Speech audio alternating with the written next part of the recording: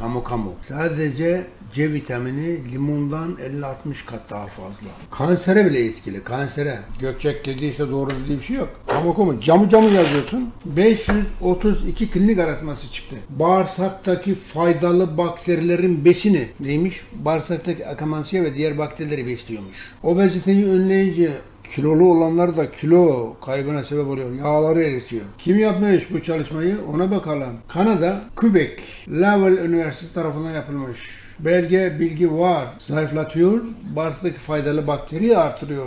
Lactobacillus acidophilus akkermansia nucleophila faydalı bakteri. Bu da ne yapıyor? Diyabete, obeziteye vesaire vesaire faydalı. Quebec, Laval Üniversitesi, Kanada. Biyofonksiyonel özelliklerine sahip Amazon meyvesi faydaları süper meyve demiş. C vitamini bakımından dünyada en yüksek C vitamini içeren bitki demiş. Kim demiş bunu? Kolombiya, Bogota, Üniversitet Nacional Kolombiya demiş.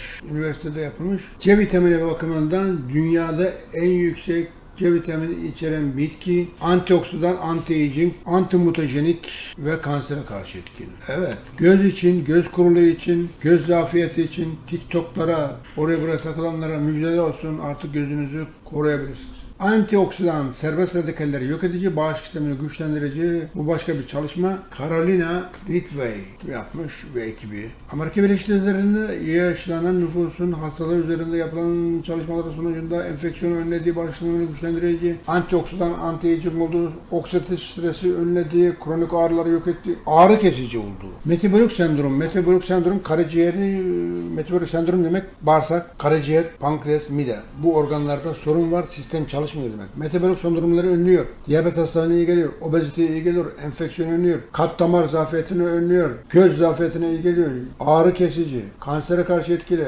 Asma, alerjiye karşı etkili. Alzheimer'e karşı etkili. Artrite karşı etkili. Başka bir çalışma antioksidan, anti-hiperglisemik yani şeker hastalığına karşı antiploratif yani vücudu temizliyor, arıtıyor. Antimikrobiyel her türlü mikrobu öldürüyor. Anti hemolitik yani solucanları, kurtları yok ediyor. La ilahe illallah.